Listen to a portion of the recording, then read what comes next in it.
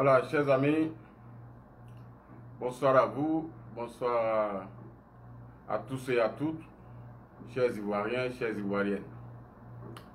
Avant donc de commencer donc euh, notre causerie, notre conversation donc de, de ce soir, je voudrais vous saluer tous et toutes depuis votre position, quel que soit donc le lieu où vous vous trouvez, et partager maximum cette vidéo euh, pour que ça puisse donc euh, atteindre le maximum d'Ivoiriens et surtout et principalement les militants du RHDP. C'est principalement à eux que je veux m'adresser, mais à travers eux, à tous les Ivoiriens, épris de paix, d'égalité, d'équité, de justice, pour ceux qui ont ces valeurs en partage avec nous. Parce que les fondamentaux donc, euh, de notre combat, ce sont ces valeurs-là. Et j'estime que beaucoup d'Ivoiriens qui n'ont pas encore rejoint le RHDP ont aussi ces valeurs en partage. Et je voudrais les inviter à écouter mon message pour que cela serve donc euh, de leçon, pour que cela serve donc euh, d'enseignement de façon humble et modeste. Je puisse donc contribuer à la mise en place de cette nation arc-en-ciel que nous voulons bâtir, ensemble avec le président Alassane Ouattara et avec l'ensemble donc euh, de tous les Ivoiriens donc, qui partagent réellement cette valeur, qui ne sont pas dans une sorte d'hypocrisie et qui se seraient, qui pourraient se laisser entraîner dans cette vague de haine, des xénophobies, du tribalisme, donc euh, qui est véhiculé par certains, malheureusement, et surtout jeunes, qui, à l'heure où euh, le président Ouattara parle de nouvelle génération, et qu'il estime que la jeunesse est porteuse d'une forte demande de changement de paradigme, c'est malheureux que aujourd'hui certains parmi nous, de notre génération, s'inscrivent donc dans une ère moyenâgeuse, pendant que nous voulons aller haut, ils nous tirent vers le bas. Et se taire sur ce genre de comportement, ce serait coupable de ce qui peut arriver si on ne prend pas position de façon claire et nette, de manière courageuse, en regardant les yeux des autres, dans les yeux des autres et leur dire la vérité. Ce n'est pas une réponse à un individu ou à des individus, mais c'est une réponse à une attitude, à un comportement, à, des propos, à un discours pour moi qui sont totalement antagonistes aux valeurs que nous voulons incarner, que nous voulons bâtir durablement dans notre pays. Et donc je voudrais vous demander de partager au maximum pour que ça puisse atteindre donc le maximum d'Ivoiriens.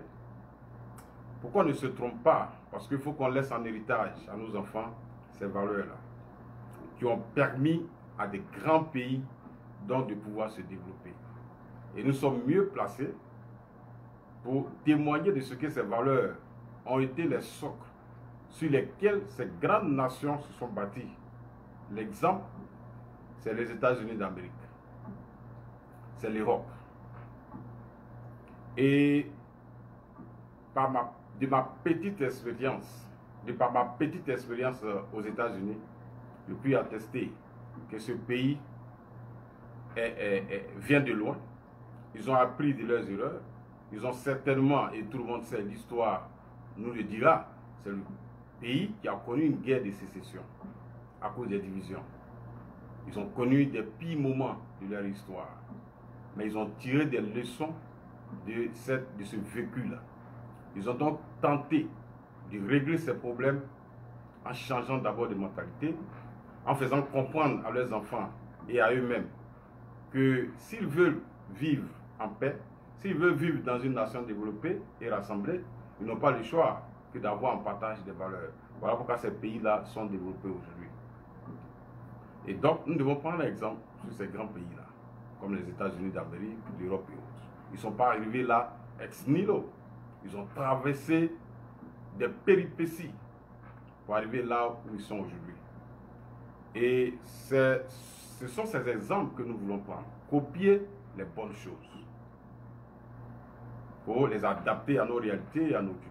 Malheureusement, il se trouve des gens aujourd'hui qui sont aussi malheureusement donc dans notre camp et qui font la promotion, donc qui se disent être dans, notre camp et qui sont porteurs de ces anti-valeurs.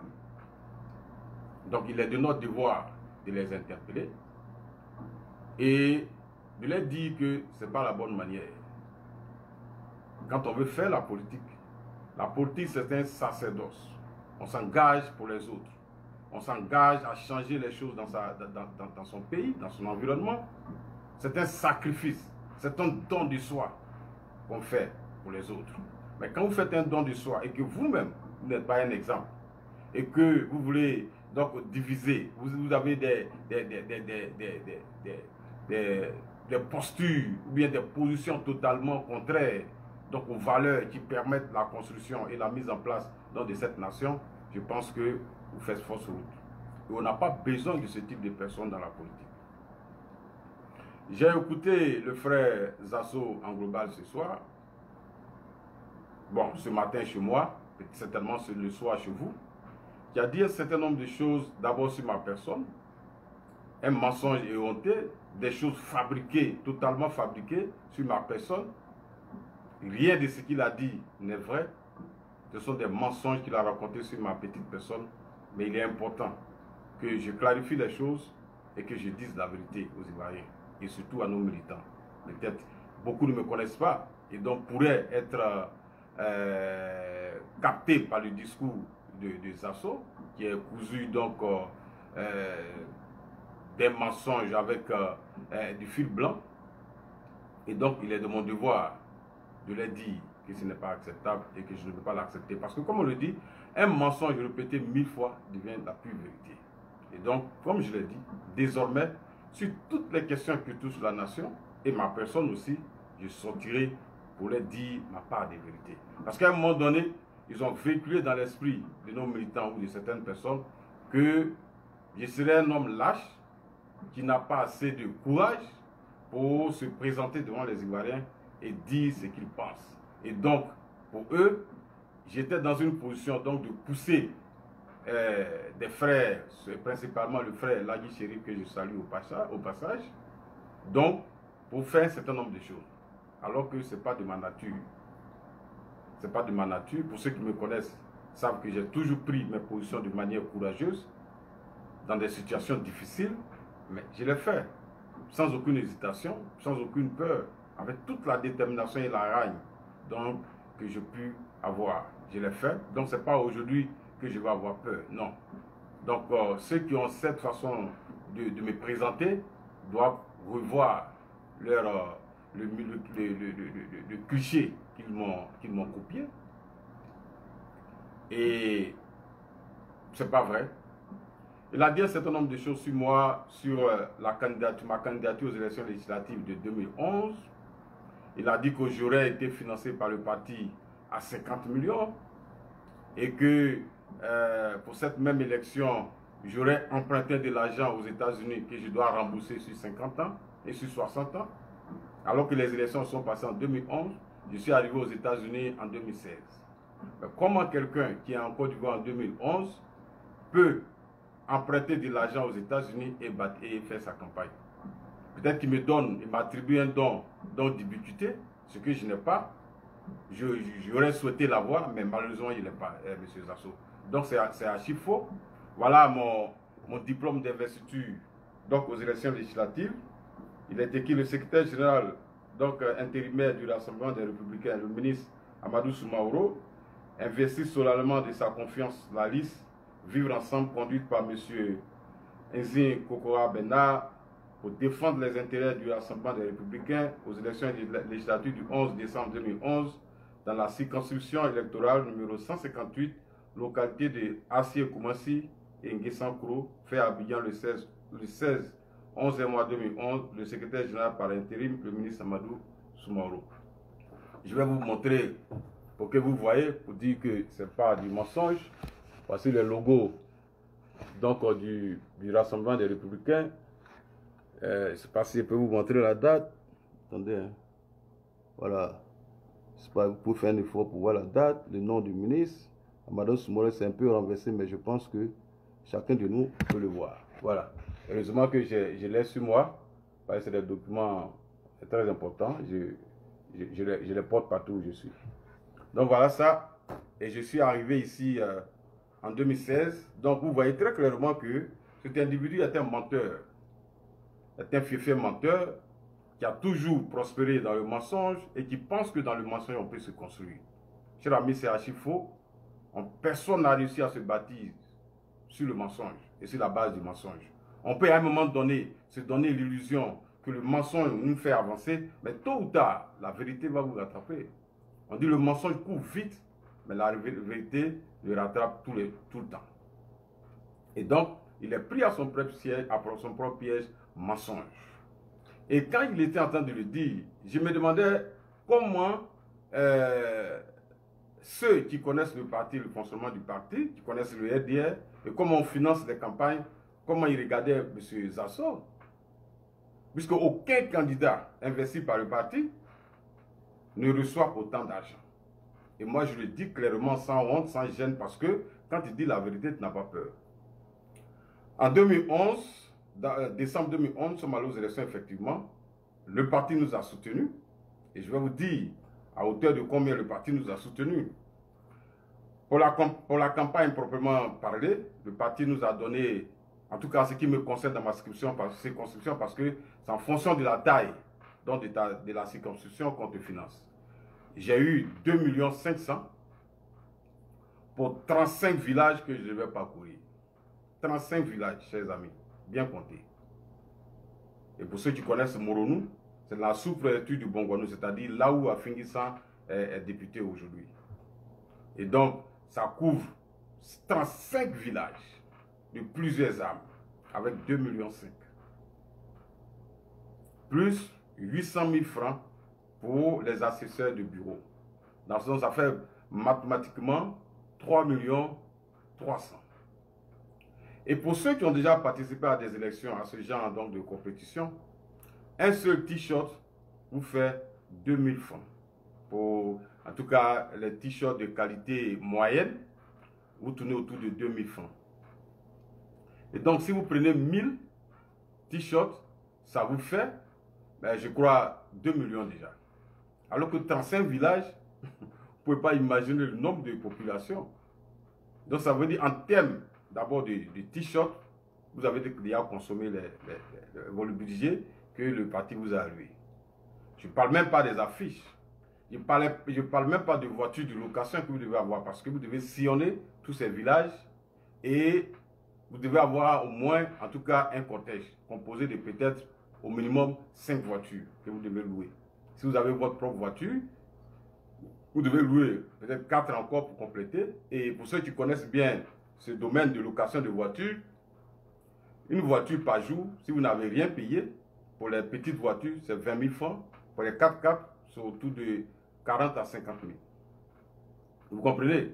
Donc, je ne vais pas vous embêter avec les calculs, mais vous-même, vous allez calculer voir combien ça fait déjà sur pratiquement une campagne qui dure une semaine.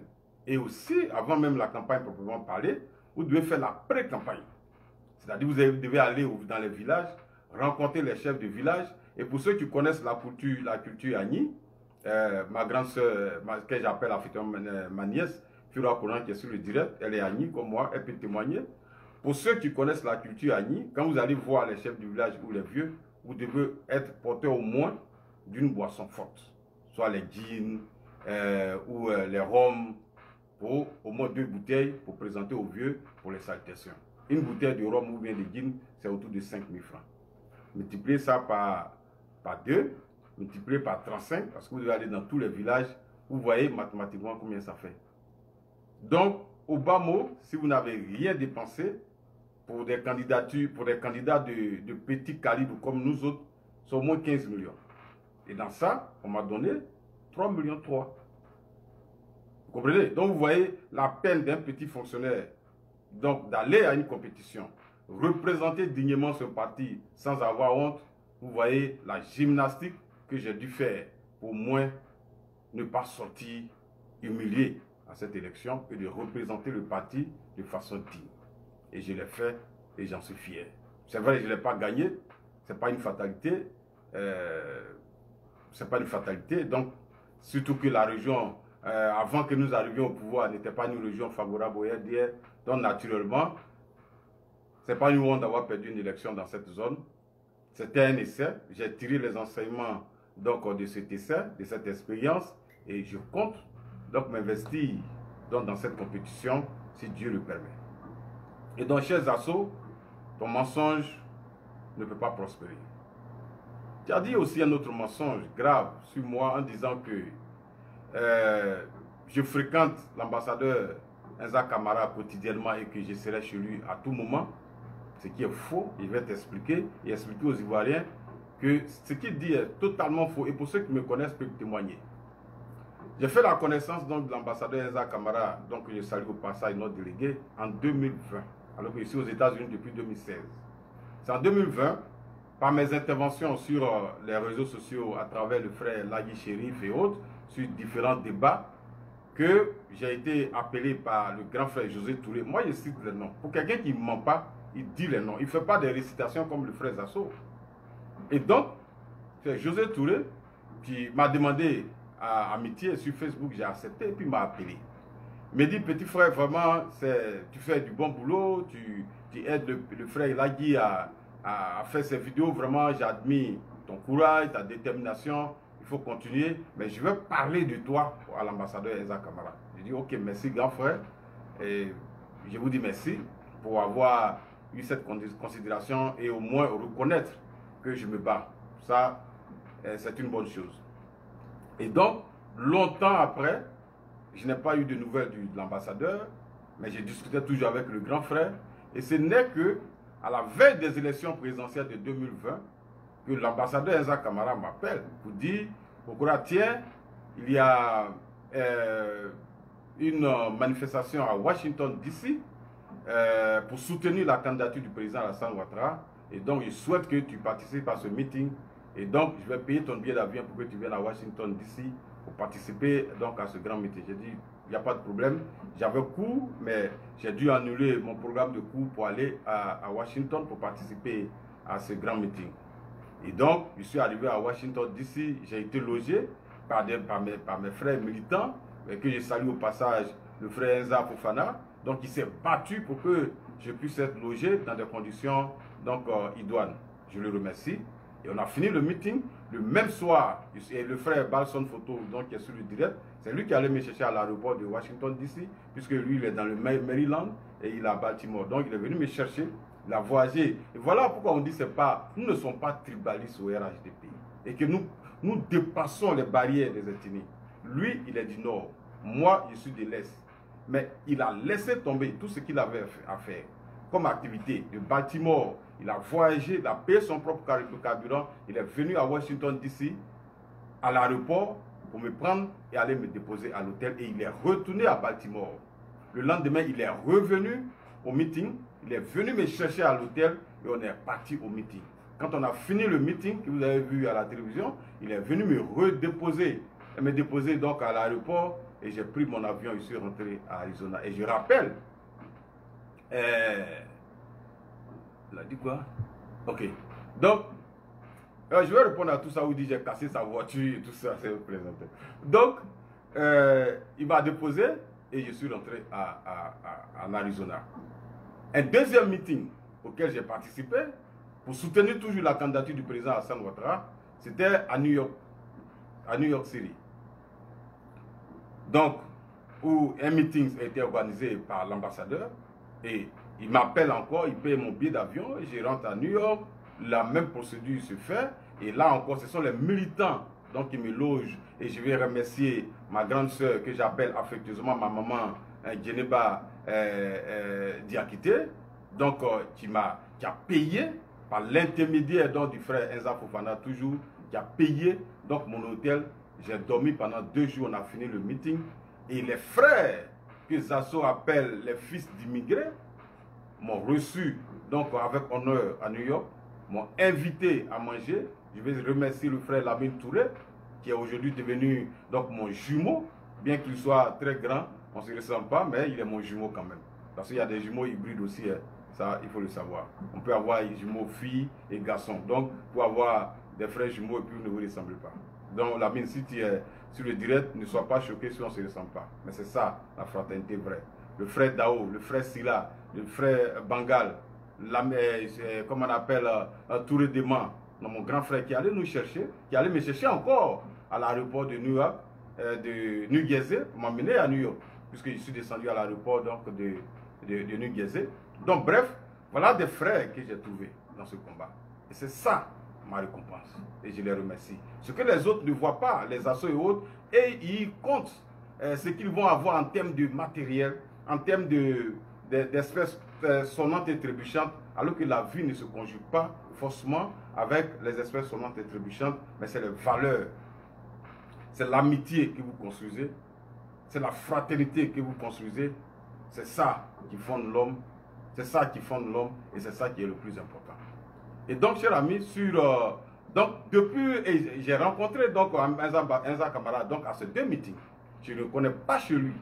Je n'ai jamais été chez lui. Je n'ai jamais été dans son bureau. Donc, il ne sait pas d'où tu tires ton information que moi, je suis quotidiennement avec l'ambassadeur Enza Kamara et qui me nourrissait. Il faut lui demander, il est vivant. Aujourd'hui, il a été nommé consul euh, général donc, de New York City. Donc, je, je le félicite. Mais depuis ce jour, je ne l'ai pas encore rencontré. Je ne connais pas chez lui. Tout dernièrement, il y a une réunion à, euh, New York où je n'ai pas pu participer parce que le délai était tellement court, je n'ai pas pu participer. Où Mme Kandia était, le ministre d'État Adjumani et autres, ils étaient. Mais je ne suis pas parti. Vous comprenez, Donc, tout ça, c'est du mensonge. Il dit encore que euh, en 2010, j'aurais organisé une bande pour aller casser sa voiture. Voilà un gros mensonge. Moi, en 2010, j'étais à Gagnoua. Je suis allé comme fonctionnaire à Gagnon en 2003 jusqu'en 2011, après donc, la crise post-électorale. Et j'ai quitté la ville. Donc toi qui es à Abidjan, qui es porte-parole du président, moi je suis à Gagnoua, comment je peux encore avoir le don d'ubiquité, être à Gagnoua, être encore à Abidjan, organiser une bande donc, de, de malfaiteurs, de militants, de tribalistes, de fils d'immigrés, encore pour aller casser ta voiture. Je n'ai jamais vu ta voiture.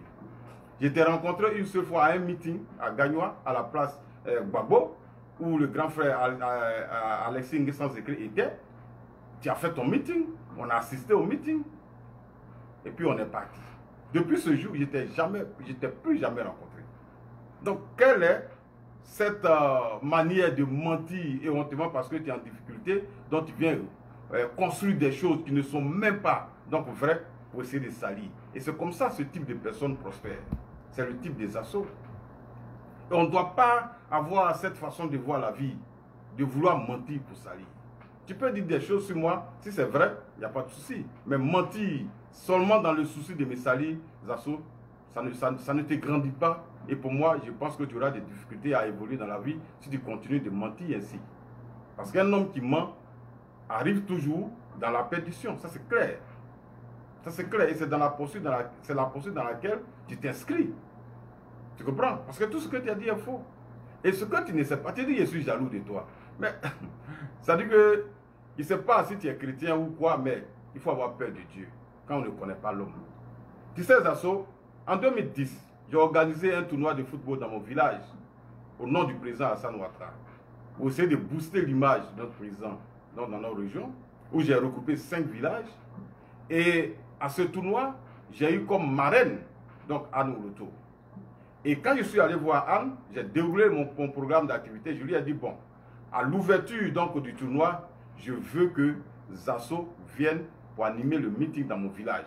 Parce que le cliché que les gens avaient réussi à faire passer dans l'esprit de nos parents, c'était que le RD était un parti de Djoula.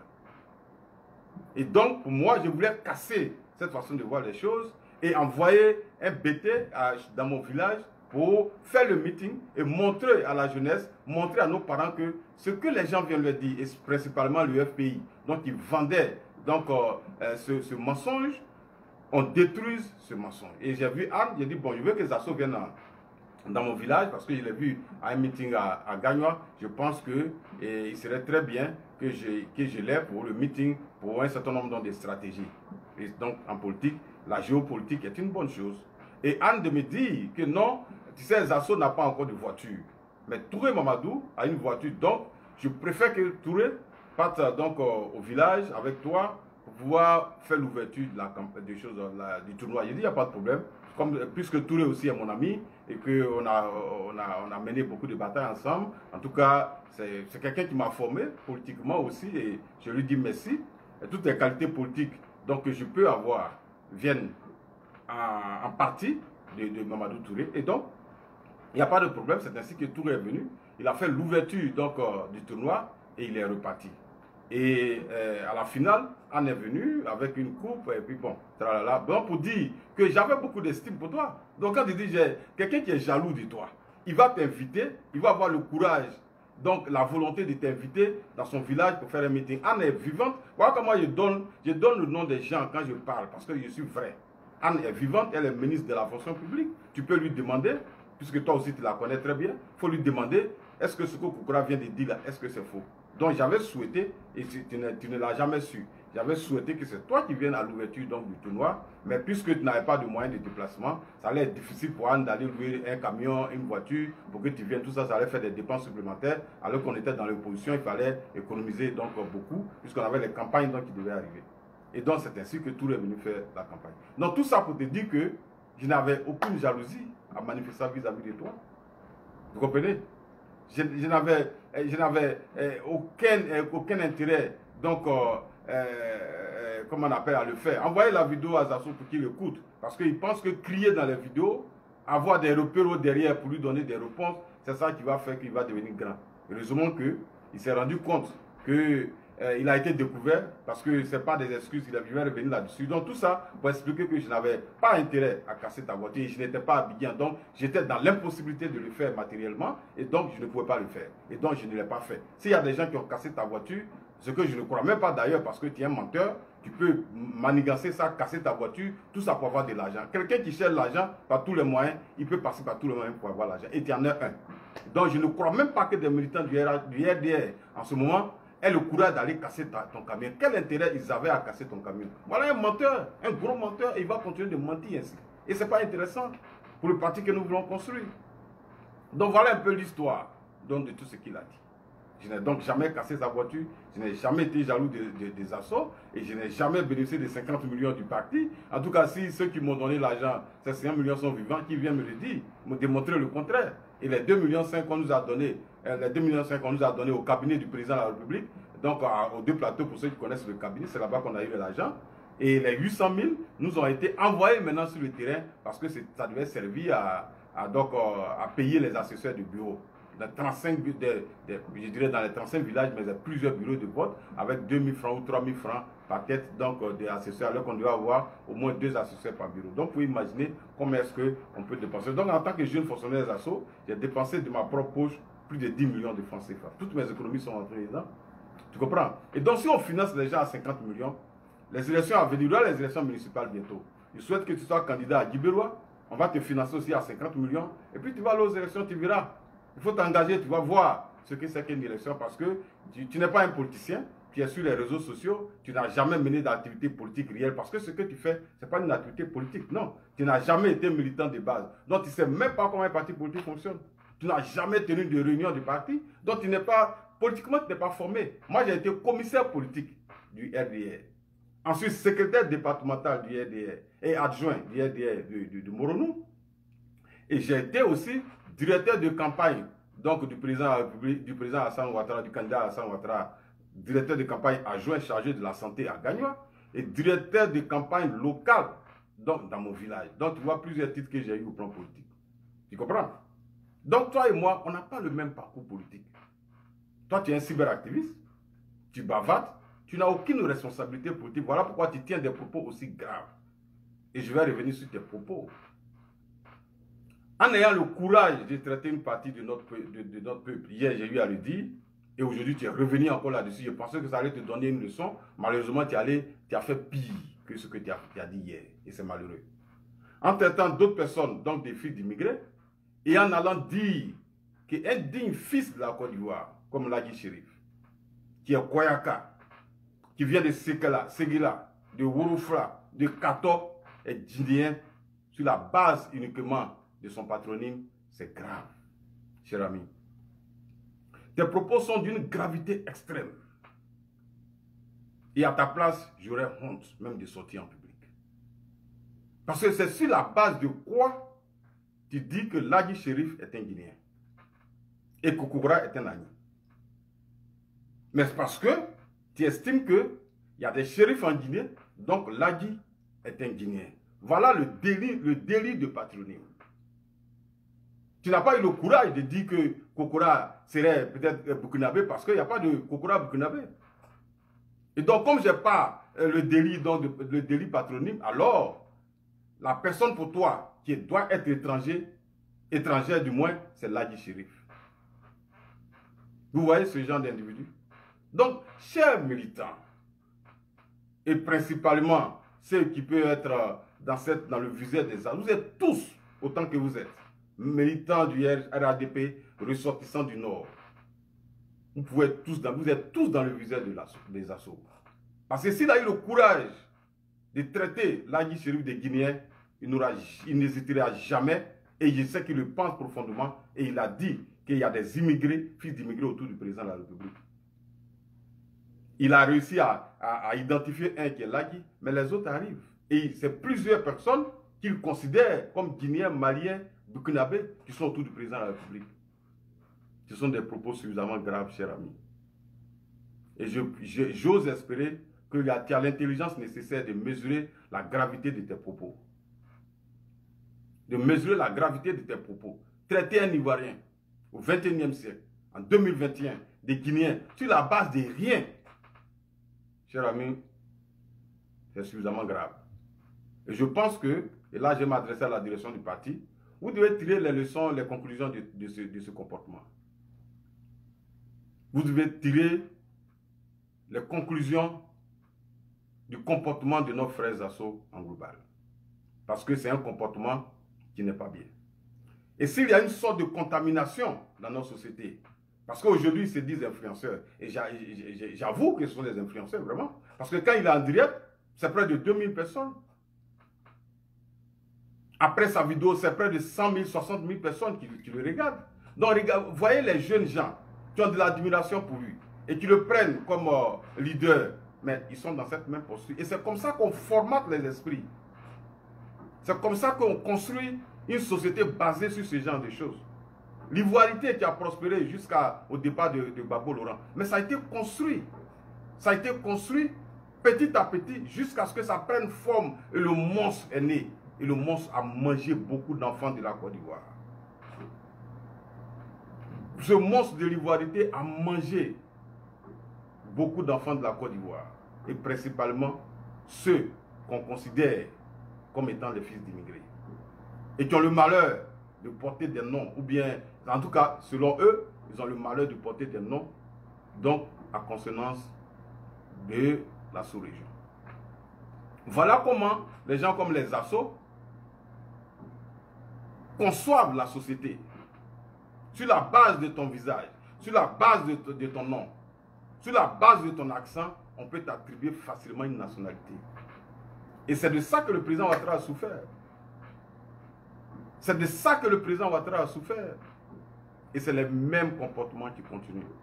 Quand je l'écoute dans sa vidéo, qui dit Nous sommes venus prendre la place de nos parents au RDR, Guédé et autres. Donc, tu t'attribues Guédé Guina parce qu'il est pété. Et donc, pour toi, Guédé Guina est ton frère. Il n'est pas le frère des autres.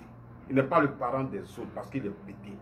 Voilà un combattant, comportement tribaliste. Si tu estimes que tu es venu prendre la place des Guédé Kina au sein du parti et que tu revendiques leur héritage, mais tu revendiques l'héritage tribaliste de tes frères, ethniques de tes frères. C'est comme ça qu'on construit une société viable chez, chez Assauts en global? Je crois que le parti doit tirer la sonnette d'alarme sur ce genre de comportement. Sur ce genre de comportement. Et tout ça participe d'une stratégie Non, non ce n'est pas une question de laisser tomber. Pas, ne voyez pas ça un problème personnel. Ce n'est pas un problème personnel. Il faut mesurer la dangerosité du propos, des propos de l'individu. Il faut mesurer la dangerosité de ses propos. Et c'est ça qu'il faut combattre. Il ne faut pas avoir honte, chers amis, chers militants. Il ne faut pas avoir le complexe de dire à ton propre frère, à ton propre parent, que ce que tu fais n'est pas bon pour qu'il change. L'objectif qu'il change.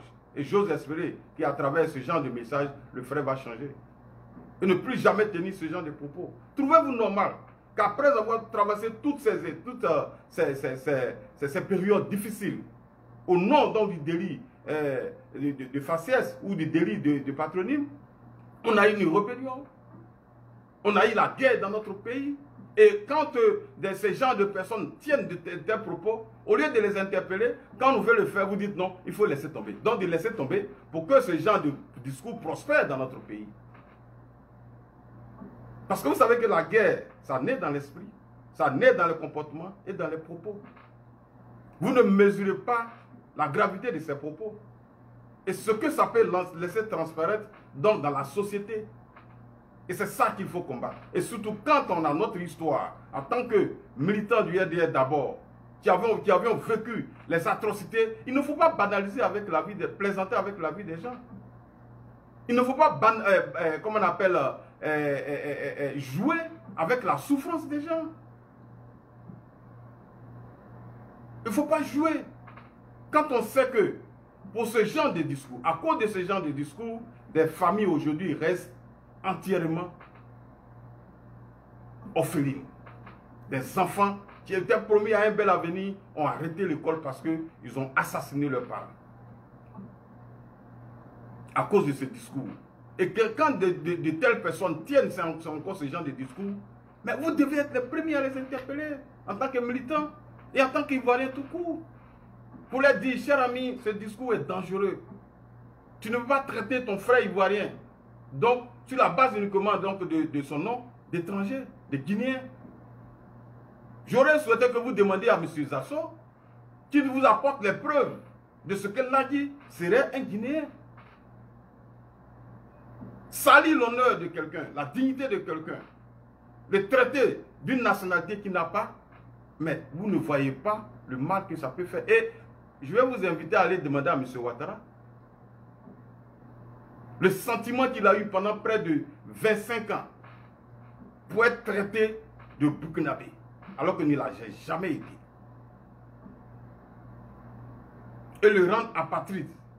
Et on, trouve que c'est normal que, parce que soit Lagui est un citoyen lambda, que lui, on peut le traiter facilement de Guinéen sans que ça choque personne. Et demain, ces mêmes personnes vont s'attaquer à l'opposition quand ils ont un discours. Mais vous n'êtes pas cohérent, vous n'êtes pas constant. Vous n'êtes pas constant parce que vous ne pouvez pas reprocher aux autres ce que vous n'aimez pas. Et vous-même, ça arroger le droit donc de faire ça et que ça puisse passer dans la mentalité des gens et dans la conscience populaire. Comment on construit une nation de cette façon? C'est ça l'injustice. Parce que si vous acceptez le discours des assauts, de traiter l'Adi des Guinéens, mais je ne veux jamais voir un, militant du RADP condamner les propos de Lida Kwasi sur euh, euh, Kouyaté à, Lakota. Parce qu'il faut éviter les deux poids, deux mesures. Si nous avons tous condamné unanimement et que nous avons été choqués par les propos donc, euh, de M. Lida Kwasi sur Kouyaté à Lakota, mais nous devons aussi être autant choqués par les propos des assauts vis-à-vis de l'Adi Chérif qui le traite de Guinéens. Et surtout, je vois les frères du Nord qui sont potentiellement victimes de ça soutenir un tel individu contre une autre victime qui est la Guichérie. Vous voyez l'injustice? Et c'est dommage vraiment, chers frères. C'est dommage. Et si vous vous comportez comme ça, moi, j'ai du mal à croire à un avenir meilleur pour nous-mêmes. Parce que si on n'a pas en horreur ce genre de discours et qu'on trouve que c'est acceptable et qu'il faut le laisser tomber, moi, j'ai peur de l'avenir. Parce que pour moi, quand j'entends ce, genre de discours, j'ai la chair de poule. Parce que je me rappelle de tout le parcours qu'on a eu en tant que militant du RDR et de toutes nos souffrances. Chers amis, vous ne pouvez pas imaginer le mal que l'ivoirité a fait dans notre pays.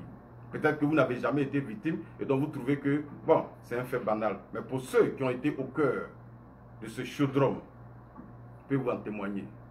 Allez-y à Bobo, allez-y à Derrière allez-y allez demander à Zaon, les nordistes qui habitaient dans cet endroit. Ils vont vous rendre témoignage, chers amis. Ils vont vous dire ce qui s'est passé. Des gens qu'on prenait, on mettait dans des égouts, on fermait et c'est terminé. Les égouts, c'est là où les déchets passent. On ouvre, on les met dedans tout simplement parce qu'ils ont un nom nordiste, comme Zasso vient de le faire, qui t'appelle Lagi Shérif. Tu tombes dans un contrôle donc, de ces gens, de ces miliciens. Donc, automatiquement, tu es étranger et donc tu es un assaillant. Donc, tu es, proche de M. Ouattara, on te prend, on te met dans un puits de, de goût, tu es mélangé avec les caca et puis tu es parti. Beaucoup de personnes ont été englouties comme ça. Chers amis, ça ne vous donne pas, ça, dit, ça ne vous donne pas, ça ne vous dit rien, ça ne vous choque pas peut-être. Mais pour nous autres, qui avons vécu ça, ça nous choque. Ça nous choque véritablement et on ne peut pas l'accepter sous aucun prétexte. Et je vous invite à ne pas accepter cela. Et la stratégie de, notre frère Zasso, et qu'il essaie donc euh, de, distiller dans l'esprit de certains euh, euh, cyberactivistes, donc se disant proche du RADP, c'est cela. Leur stratégie de division, c'est cela. Il réussit à faire croire que le, dans le RADP, il y a des tribalistes, mais comme il ne peut pas dire que le RADP est un parti tribaliste, il dit non, il y a un groupe qui est tribaliste, mais sans identifier ces personnes. Où est la malhonnêteté? Sans identifier, avoir le courage d'identifier ces gens qui seraient tribalistes, qui sont autour du président Hassan Ouattara.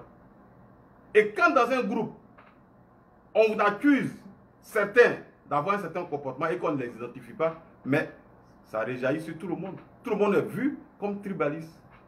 Et tout à l'heure, je viens de voir un poste d'un opposant qui s'appelle Vagbe Andrien, qui dit Zasso vient de confirmer que le RDR, RHDP est un parti tribaliste.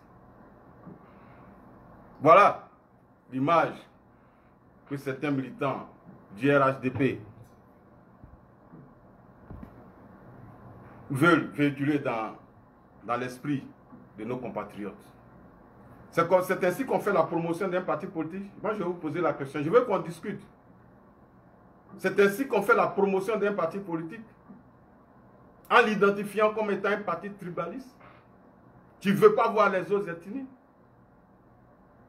et en disant clairement que nous les autres Ivoiriens, nous les autres Ivoiriens, nous soutenons le président Alassane Ouattara. Qui est autre Ivoirien et qui est un autre Ivoirien Un Ivoirien n'est-il pas un Ivoirien? Y a-t-il plusieurs catégories d'Ivoiriens? Posez-vous les bonnes questions. Posez-vous les bonnes questions et vous aurez les bonnes réponses. Analysez les propos des uns et des autres et vous verrez que c'est dangereux. Donc, n'ayez aucun complexe à dénoncer, comme ils disent, parce que c'est leur slogan, il faut dénoncer le comportement donc, de certains cadres au sein du parti. Mais nous aussi, là, pourquoi est-ce qu'on ne peut pas dénoncer leurs propos quand c'est mal placé? Pourquoi? Et qu'on nous dit, laissez tomber. Parce que ça vient d'eux. Et ils ont la légitimité, le droit de dénoncer ce que selon eux serait mauvais. Et nous autres, quand ils tiennent des propos totalement dangereux, on n'a pas le droit de les interpeller et de les dire, chers frères, tes propos sont éminemment dangereux. Vous voyez ce que vous êtes en train de fabriquer. Vous êtes en train de fabriquer un monstre ou des monstres à plusieurs têtes. On profite d'une situation donc, euh, qui est une situation totalement privée, qui doit rester dans le domaine privé, et on veut emballer tout le monde dans, dans une sorte de, de, vision. Essayer de faire porter une couverture à tout le monde pour dire, voilà, ces gens-là sont tribalistes, ils ne veulent pas nous voir. Pour une affaire, donc privée, totalement privée. Vous comprenez? Parce que tout simplement, l'individu est d'une autre communauté. Et donc, automatiquement, lorsque quelqu'un dit un mot, on dit qu'il est tribaliste. Ou bien si tu ne prends pas la parole pour dire je le soutiens, on dit qu'il est tribaliste. Pourtant, on a vu, et je remercie le frère Lagui, qui a fait une démonstration éloquente. On a vu notre sœur Awa Fofana, donc, qui a eu un comportement qui pouvait entraîner une situation difficile dans le pays. Elle a été interpellée par la justice, jugée immédiatement et déposée en prison 5 ans de prison avec 2 millions d'amendes, laissant enfants derrière.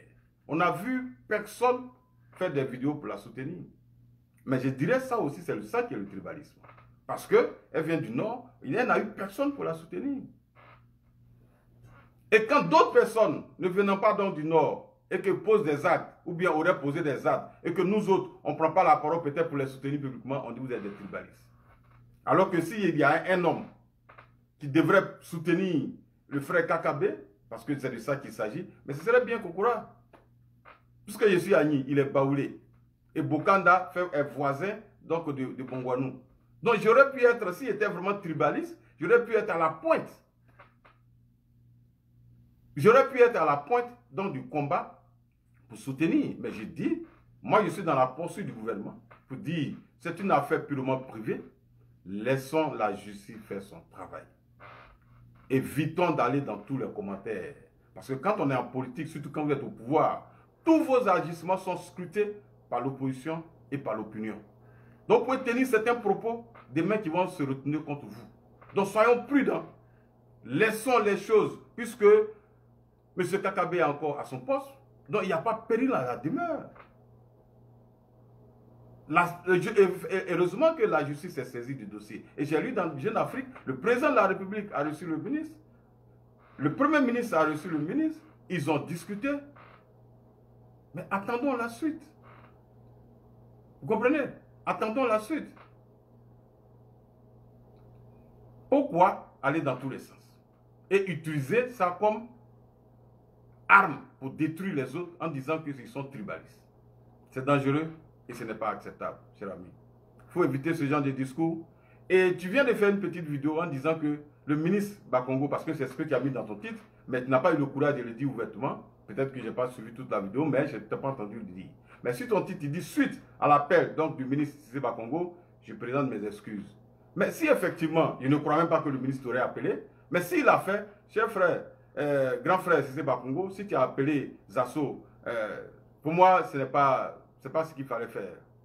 Et c'est ce comportement-là, si vraiment ça a existé, c'est ce comportement qui fait que ces gens-là n'arrêtent pas. Parce que quand il y a un problème, vous prenez votre téléphone, des ministres d'État, et puis vous appelez ces gens qui n'ont aucune fonction précise. À part la caméra qu'ils ont, quelle est la fonction qu'ils ont?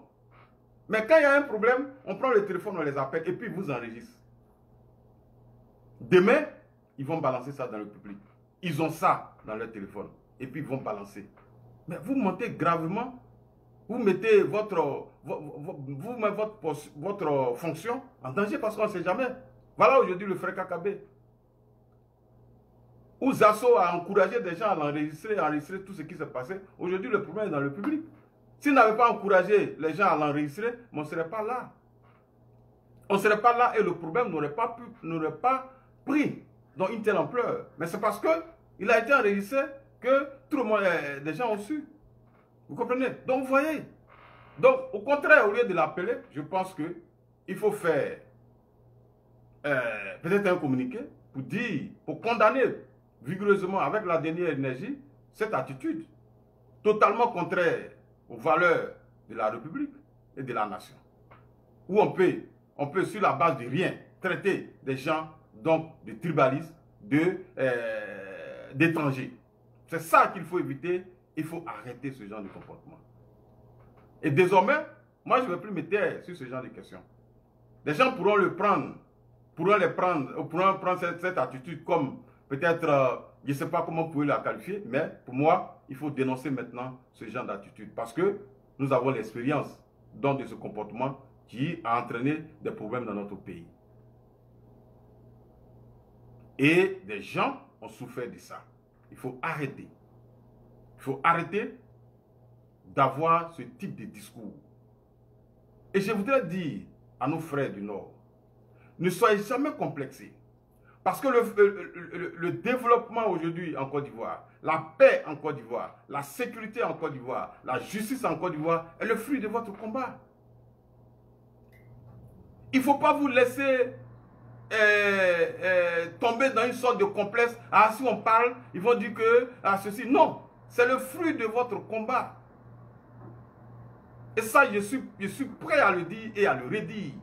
Parce qu'il faut reconnaître le travail de quelqu'un. Zasson nous parle donc de ses frères Jenny Kobena. Oui, et je dis euh, Jenny Kobena de Guédé Guina, c'est vrai. Certains sont rejoints ce combat pour aider comme nous autres. Pour aider ce combat à porter. Mais nous étions une minorité. 80% de ceux qui étaient investis dans ce combat sont les populations du Nord. Au point où on a traité le RDR, donc du CDAO. Moi, dans mon hôpital, on m'appelait CDAO. Parce que j'étais RDR. Vous comprenez? On les traitait de CDAO. Et vous avez mené ce combat. Donc si aujourd'hui, chacun de nous, chacun des Ivoiriens est en train de bénéficier dans ce fruit, du fruit de ce combat, c'est le fruit donc de votre combat. Et donc, quand on a à nommer un cadre du Nord qui est compétent, n'ayez aucun complexe à l'accepter. À penser que si on le fait, les gens vont dire non, euh, ils sont en train de faire la part belle aux nordistes. Non. Bien au contraire, je crois que ce peuple n'a pas encore obtenu ce qu'il devait être. Parce que s'il devait être vraiment tribaliste, je ne pense même pas qu'on euh, aurait pu avoir des cadres dans toutes les régions qui sont au RHDP et qui sont euh, donc, euh, euh, comment on appelle, des ministres, des DG. C'est vrai, la vérité, peut-être, ça fait, ça fait mal parce que l'Africain n'aime pas la vérité. Mais moi, je lui ai dit la vérité. Chez nous, on dit quand la vérité se trouve quelque part chez ta maman et que tu l'enlèves quelque part, tu n'as pas commis le péché. Parce que c'est pour montrer le caractère important de la vérité. Et c'est en disant la vérité qu'on pourra construire une nation forte sur laquelle nos enfants pourront s'appuyer pour bâtir eux aussi une nation qui vont laisser à leurs enfants. Et de génération en génération, on bâtit une nation forte. Pas avec ce genre de discours, de division, d'opposition d'ethnie contre ethnie. Non. De religion contre religion. C'est pas comme ça qu'on bâtit une nation. Aujourd'hui, on voit le terrorisme prospérer. Mais c'est ce genre d'idée de renfermement sur soi de penser que celui qui ne pense pas comme vous, celui qui n'a pas la même identité que vous, est totalement, euh, je vais dire, euh, euh, il, est, repulsif, ou bien on ne peut pas l'approcher. Parce qu'il n'a peut-être pas la même façon de voir que vous, et donc il doit, il doit disparaître. Et c'est ce qui s'est passé exactement dans notre pays. Parce que des gens n'avaient pas la même pensée que vous. Parce que des gens n'avaient pas le, même, le même nom que vous. Ces gens-là devraient mourir. Et sur cette base, des gens sont morts dans mon pays. Des gens sont morts dans mon pays sur cette base. De catégorisation. De, de la non-acceptation de l'autre. De la négation de la diversité. Ces gens-là sont morts. Et vous voulez que nous, on se taise sur ça au nom de quoi? Pour faire plaisir à qui? Parce que c'est quelqu'un qui a payé les études de l'autre ou bien qui le nourrit? Et puis on va se taire. Parce que lui, il s'appelle euh, Zasso et qu'il est bêté, il est intouchable. Quand le touche, on dit qu'il est tribaliste. Mais moi, heureusement, je ne suis pas du Nord. Donc on ne peut pas me traiter de tribaliste.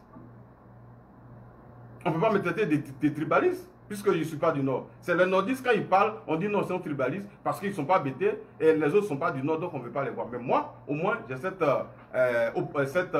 cet avantage donc, de pouvoir en parler. Puisqu'il ne s'agit pas des amis que je suis en train de défendre. Vous comprenez? Donc ceux qui pensent que on doit arrêter, bon ça c'est leur point de vue. Je le respecte, mais ce n'est pas mon point de vue. Ce n'est pas mon point de vue, je ne l'accepterai jamais. Je ne l'accepterai jamais. Quand des gens se sont battus, parce que hier, quand ils se battaient pour, avoir la liberté, quand ils se battaient pour avoir la dignité, quand ils se battaient pour que le président arrive au pouvoir, pourquoi Si vous n'étiez pas euh, tribaliste, pourquoi vous ne les avez pas rejoints? Mais ils se sont battus seuls, pratiquement, pour obtenir la Côte d'Ivoire d'aujourd'hui. Donc on leur doit du respect. Si on doit faire des faveurs à tout le monde, parce que c'est ça la bonne gouvernance, on doit faire des faveurs à tous les Ivoiriens. Le développement ne doit, pas, ne doit pas avoir de couleur. Le développement ne doit pas avoir d'ethnie. Donc le développement doit être reparti sur l'ensemble du territoire. Mais quand on le fait, on doit se souvenir qu'il y a un peuple qui s'est battu pour qu'on arrive, en arrive là. Et qu'on leur doit du respect, un minimum de respect. Et qu'on ne doit pas continuer de les piétiner, de les traiter d'illettrés, d'analphabètes et toujours d'étrangers. Et pour ça, je suis prêt à payer tout le prix. À faire tous les sacrifices pour porter ce combat-là. Pour dire non à toutes ces forces, toutes ces forces régressistes, rétrogrades, qui vont nous emmener encore en arrière. Et ça le dit, s'il le dit, c'est faire euh, euh, du tort à quelqu'un, je n'en ai tu et je le dirai. Je le dirai parce que la Côte d'Ivoire ne mérite pas cela. La Côte d'Ivoire ne mérite, ne mérite pas un, tel type de jeunesse comme les assauts qui sont capables, sans gêne, de dire à un autre Ivoirien parce qu'il vient du Nord, qu'il est étranger, je ne peux pas l'accepter. Et envoyez-moi, envoyez, envoyez, lui ma, ma, vidéo. Pour qu'il écoute. Que crier dans la vidéo ne fait pas de toi un intellectuel ou bien un homme de valeur. Je suis contre le négationnisme, les anti-valeurs, l'inversion des valeurs. Je suis contre ça. Et je suis contre ça. Et tout le monde me connaît pour ça. Je me suis battu pour ça. Et contre ça. Je me suis battu pour la liberté, pour l'égalité, pour l'équité des Ivoiriens quelle que soit leur appartenance ethnique et religieuse. Et je serai toujours contre ce genre de propos divisionnistes. Quand l'individu vient sur la place publique pour dire les gens étaient contre Amadou euh, Ahmed Bakayoko. Et des gens, il y a des pros Amadou Gon. Mes chers amis, et que nous autres, nous serions pro euh, Amadou Gon. Mais est-ce qu'il y a plus pro Amadou Gon qu'Alassane Ouattara? Puisqu'il était investi de la confiance du président, du président de la République. Et le choix du candidat Amadou Gon Koulibaly a été fait de façon unanime. On a vu, est-ce que tu m'as vu à la, réunion du bureau politique pour le choix du candidat Amadou Gon, tu m'as vu là-bas? Tous ceux qui ont pris la parole là-bas pour dire Amadou Gon, et à commencer par Achille Patrick, et par, tous ces quatre que vous avez vus, Ahmed Bakayoko, père son âme, qui ont pris la parole de façon unanime, à l'exception d'un seul, Mabri, qui avait hésité. Sinon, tout le reste, les Anouloto. Tout le monde était d'accord pour Amadou. Donc si je suis pro Amadou Gon, Alassane était pro Amadou Gon, tous ces cadres qui ont choisi étaient des pro Amadou Gon. Voyez une telle vision Voyez une telle vision Est-ce qu'il y a quelqu'un qui n'était pas pro Amadou Gon Puisque c'était le choix du parti. C'était le choix du président. C'était le choix de la base. Donc, dire que Kokora est pro Amadou Gon, je ne vois pas de quoi, qu'est-ce qui est, anormal de ne pas l'être. C'est le contraire qui m'aurait surpris. Qu'on dise qu'il ne serait pas proche d'Amadou Gon, puisque c'est un autre choix. Malheureusement, Dieu en a décidé autrement. Il est parti. Nous avons souffert. Mais Dieu merci, comme Dieu a créé eh, la compassion, l'oubli, petit à petit, on entend de se remettre. Mais il ne faut pas toujours nous ramener en arrière. Si ça ne t'a pas fait mal, parce que toi, tu aurais RADP pour chercher de l'argent et tu viens de le dire. Tu vois que ton discours est en train d'évoluer. Hier, tu disais que tu étais RHDP. Après, maintenant, tu dis que tu n'es plus RHDP, que toi, tu es Alassane Ouattara. Ça fait un peu, un peu, chers amis. Dit qu'il attend de sortir un peu, un peu. Il dit, lui, n'est plus RDR, il n'est plus RHDP, mais il est Alassane Ouattara. Donc, il entend de sortir. Alors que hier, il disait qu'il était RHDP, il défendait le RHDP. Aujourd'hui, il dit non, il n'est plus RHDP, il défend Alassane Ouattara. Mais comment on peut défendre Alassane Ouattara et ne pas aimer son parti politique, l'appareil politique, politique qu'il a mené au pouvoir quelle est cette euh, euh, contradiction-là? Quelle est cette contradiction-là, chers amis? Aidez-moi à comprendre. Ça veut dire que l'individu, par élan tribaliste, est en train de sortir. Parce qu'il sait que son frère Blé Goudé, par exemple, vient de Guibéroa, lui aussi vient de Galébré, c'est deux euh, villages voisins. Donc il sait que il est sur, sur le départ, il va rejoindre son frère comme il a fait en 2010. Ça, ne soyez pas surpris. Et ça, vous notez, le, notez ça, vous allez voir. Il va partir. C'est le prétexte qu'il entend de trouver. Il entend de trouver les arguments pour partir. Et pour partir, il faut qu'il nous divise. Comment tu oses dire que nous sommes en train de combattre Adamo Bitogo Non, c'est pas vrai. C'est dangereux. Pourquoi et sur quelle base nous allons combattre Adamo Bitogo Sur quelle base? Et quel pouvoir Kokora a pour combattre Adamo Bitogo Quel pouvoir? Mais parce que tu veux créer la division. Tu veux opposer les uns aux autres. Et donc, toi-même, dans ton esprit, tu fais le clivage. Tu fais le clivage déjà. Et donc, ah, tu vas nous fragiliser avant de partir. C'est votre stratégie et c'est ce que vous avez choisi comme plan.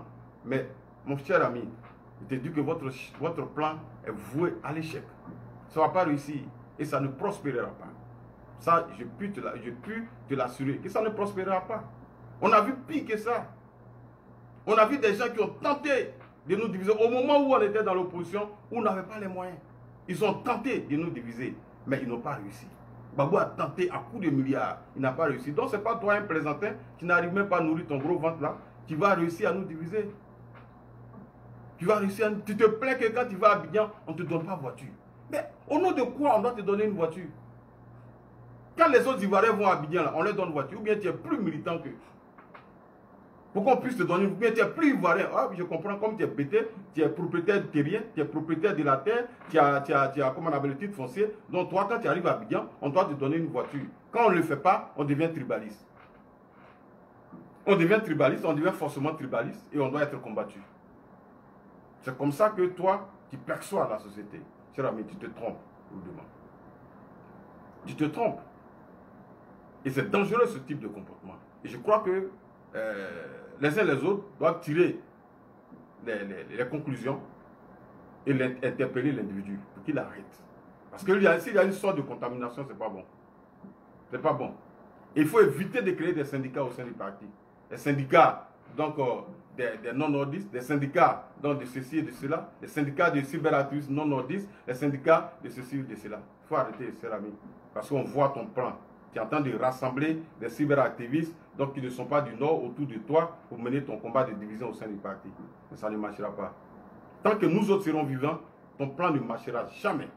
Ça, je te l'assure. Et tu seras combattu jusqu'à ta dernière énergie si tu t'inscris durablement dans cette voie. Ça, je te le promets. On ne peut pas te laisser faire ce, boulot-là.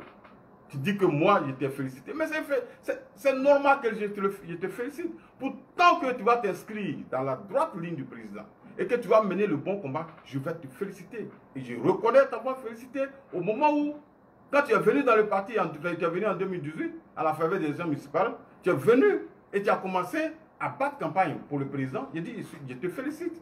Ça veut dire que je n'ai rien contre toi. S'il y avait quelque chose contre toi, je n'allais pas te féliciter. Mais toi-même, tu reconnais que Kokora me félicitait. Ça veut dire que personnellement, je n'ai rien contre toi, mais je, regarde ton travail. Si tu fais un, bon travail, je te félicite. C'est ça la vie. Mais si tu déconnes, on doit te mettre sur la droite. Et ça n'a rien à voir avec un problème personnel. Et toi-même, tu viens de l'avouer que Kokora m'a félicité. Et demain, si tu changes de posture, je serai le premier à allumer ma caméra pour te féliciter. Mais tant que tu vas rester dans cette posture, je ne vois pas par quel stratagème je vais te supporter ou bien te féliciter. Je ne peux pas. Hier, on a combattu Diony Pachoko parce qu'il nous combattait. Mais aujourd'hui, on le félicite parce qu'il il fait, un travail donc, euh, de communication pour le, président. Mais demain, s'il change, on va le combattre. Donc, il ne dira pas que non, hier, vous m'avez fait ça, aujourd'hui, vous me combattez. Ça dépend. Si tu changes, nous aussi, on change, c'est clair. C'est la façon de ta position qu'on te juge. Donc, ne sois pas étonné qu'aujourd'hui, eh, tu, tu, eh, on te recadre. On te recadre parce qu'on ne peut pas accepter. On ne peut pas accepter ton comportement au sein du parti. De traiter tout le monde d'étranger, des fils d'immigrés. Non, c'est des propos suffisamment dangereux. Et tu es venu faire une sorte donc euh, d'excuse euh, hypocrite là pour dire non, je ne m'adressais pas à tout le monde, mais je m'adresse à un groupe. Mais il faut identifier ce groupe-là. On va voir. Il faut identifier bien, c'est là qui qui est guinéen dedans. Puisque tu as dit les fils d'immigrés, bon, tu as, réussi à identifier un qui est Lagui. Mais et les autres? Il faut les identifier. Nous, on attend ta liste des fils d'immigrés. Comme tu dis, c'est heureusement, ce n'est pas tout le monde. Ok. Mais tout le monde dont tu parles, peut-être que tes frères Bété, les Agnis, les Dida, et là, ils ne sont pas Dida. Mais tous ceux qui viennent du Nord, tu les considères comme fils d'immigrés. C'est tout. Effectivement, ce n'est pas tout le monde. Puisque moi, tu ne m'as pas considéré comme euh, un Burkinabé ou bien un Ghanéen. Tu as dit qu'Okora est Agni. Mais sur quelle base Est-ce que tu me connais où? Pour dire que je suis Agni. C'est sur la base de mon nom. C'est sur la base de mon nom que tu trouves que je suis Agni. Et donc, je ne peux pas être guinéen comme Lagui. Mais si Lagui avait eu le même nom que moi, ou bien Kouadio, mais tu n'aurais jamais traité Lagui de guinéen. C'est tout. Parce que tu ne le connais pas. Tu n'as jamais vu ses pièces d'identité. Tu ne connais pas ses parents. Mais tu dis c'est un guinéen. C'est sur la base de son ethnie et de, de, son nom. C'est sur la base de son nom que tu le traites de, de, Guinéen. Voilà comment toi tu vois la chose. Et donc, tous ceux qui ont les mêmes, les Ladi Sherif, les Mamadou Touré, les, les, les Ouattara, les, les Sekongo, tout cela sont des étrangers pour toi. Puisque tu ne les connais pas et tu les juges sur la base de leur nom. C'est comme ça que toi, tu vois la société, cher ami. Et je suis choqué que ça ne choque pas certaines personnes. Donc, de notre camp, tu trouves que ce sont des propos qu'on doit tenir au 21e siècle en Côte d'Ivoire surtout. Sans tenir compte de la souffrance que ce peuple a connue à cause de ces choses. Je suis maîtrise, cher ami. Je suis effondré. J'ai été effondré quand j'ai entendu son, ton discours. Je pensais que tu allais, tu allais revoir son, ton discours depuis hier et que la nuit allait te porter conseil. Mais aujourd'hui, tu es venu et tu as identifié un Ivoirien comme un Guinéen sur la base uniquement de son nom. C'est un délit de patronyme. Et c'est condamnable. Et je pense qu'il y a une loi contre ça. Et j'invite le frère à prendre ses responsabilités, le frère Lagui, à prendre ses responsabilités. Qu'il te démontre devant les, tribunaux que tu es un Guinéen. Qu'il te démontre devant les tribunaux, sa vidéo est publique, que tu es un Guinéen sale. Pour lui, tous les Guinéens sont sales. Voilà comment l'individu, donc, euh, conçoit des choses. Et j'invite le frère Lagui à prendre ses responsabilités face à de tels propos. Parce que ce n'est pas acceptable. Ce n'est pas acceptable. Et il faut que ce genre de choses cesse en prenant, en posant des actes. Nous devons faire fonctionner nos lois. Parce que c'est eux qui sont sur la toile pour dire on veut la justice, on veut ceci, on veut cela. Mais la justice, ce n'est pas fait pour les, pour les opposants seulement. La justice n'est pas faite pour les opposants seulement. Voilà pourquoi aujourd'hui, notre sœur Awa Fofana est en prison. Mais elle est militante du RHDP. Ça veut dire que lorsque des gens de notre camp posent des actes, mais ils sont justiciables. Et notre frère vient de tomber sur le coup. Donc de la xénophobie. Je dirais même euh, euh, du délit, de patronyme et d'accusations graves contre un citoyen ivoirien le traitant donc d'étranger. On, ose espérer qu'il a les preuves de ce qu'il a dit. Et donc, j'exige, au nom du frère Ladi que M. Zasso en global présente ses excuses publiquement à Ladi pour offense. Sinon, des actions vont être, vont être entreprises.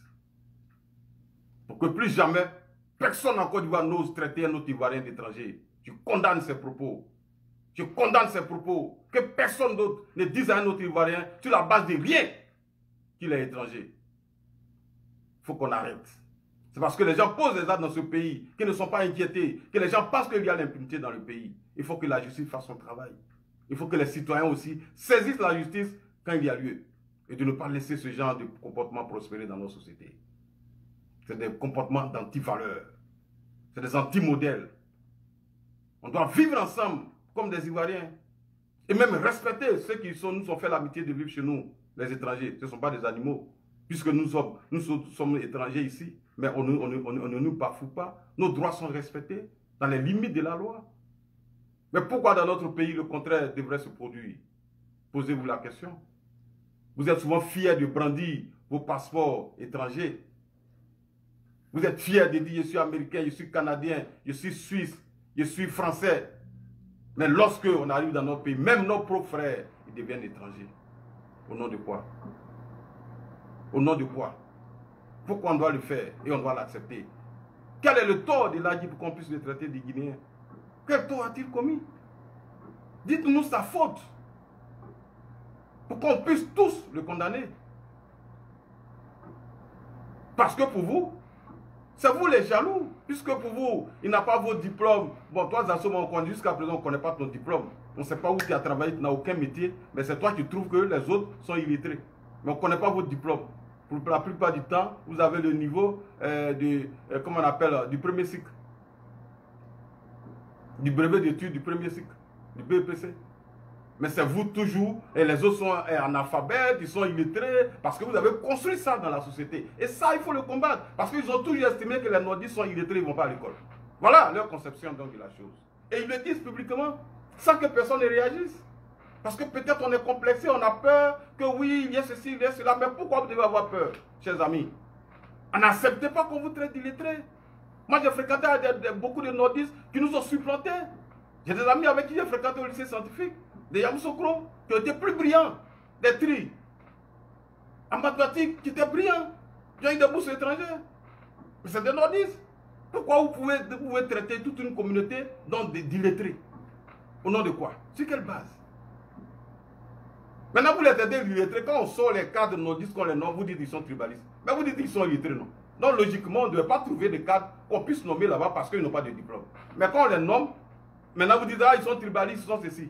Mais c'est vous pour vous démontrer qu'il y a des cadres il y a beaucoup d'intellectuels là-bas, peut-être mieux que vous.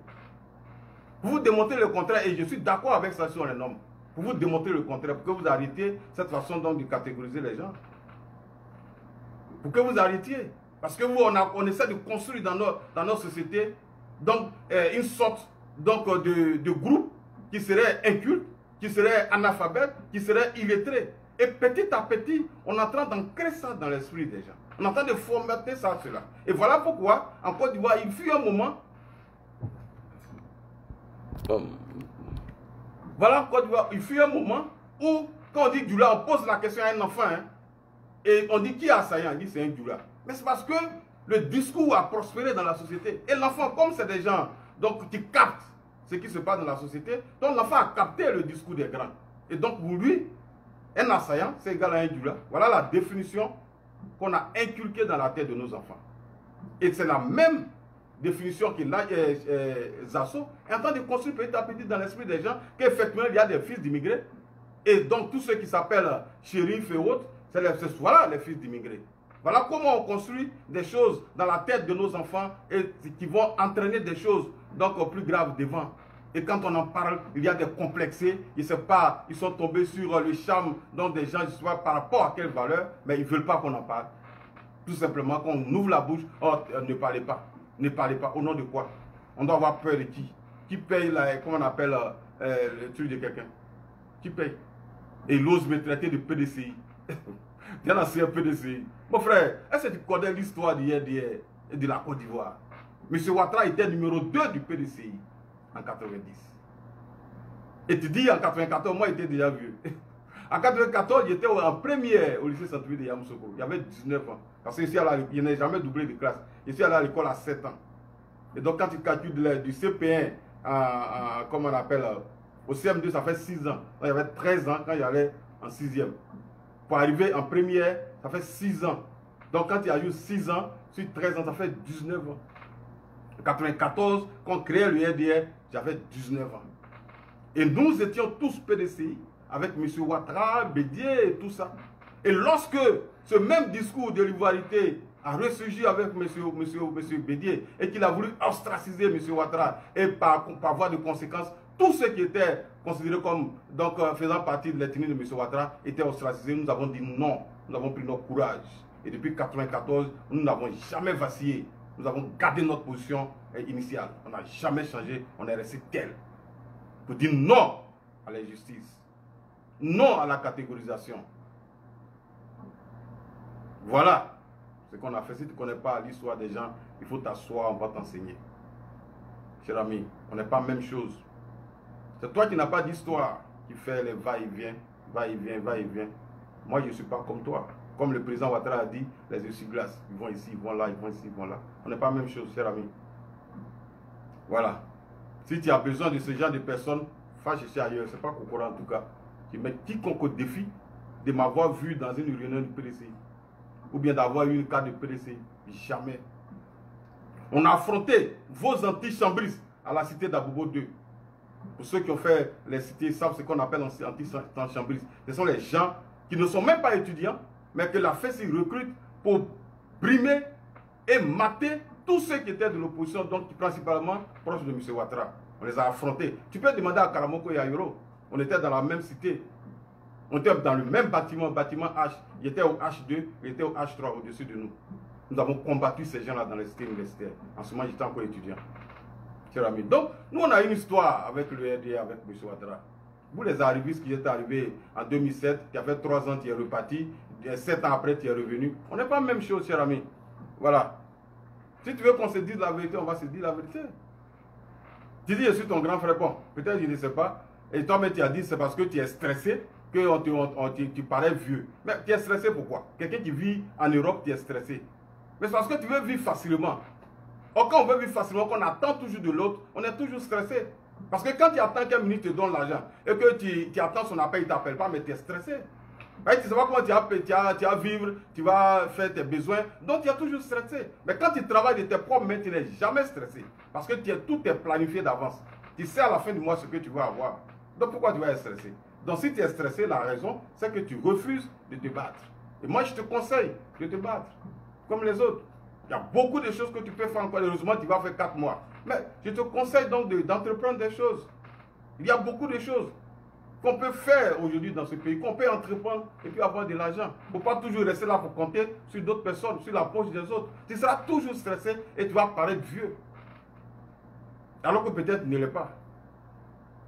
Mais à cause de vouloir vivre facilement, tu finis comme ça. Et tu grossis bêtement. Parce que tu manges n'importe quoi. Et donc tu grossis comme ça. Et tu penses que c'est une bonne chose. Non, ce n'est pas une bonne chose, cher ami. De vivre au dépend des autres. Et lorsque tu ne gagnes pas, tu es obligé de crier, crier dans les vidéos pour insulter les gens. Mais tout ça là, ça te donne le stress. Ça fait monter et donc euh, ça te donne une hypertension artérielle. Ce qu'on appelle les, les, les HTA. Voilà ce que tu subis.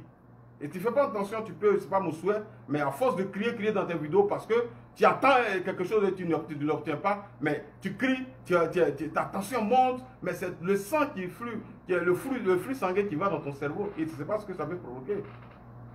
Tu ne sais pas ce que ça veut provoquer parce que, bon, euh, tu as moins de connaissances en santé, en matière médicale, donc peut-être que tu ne le sais pas, mais je te le dis, c'est dangereux, il faut arrêter. Pour vivre moins stressé, il faut vivre au dépend de soi.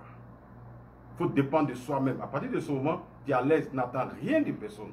Oui, je suis là, je n'attends rien de personne, donc je ne suis pas stressé. Je sais ce que je vais avoir la semaine qui vient. Donc pourquoi je vais être stressé Je sais déjà, j'ai planifié. Voilà combien d'heures que je dois faire pour obtenir ça.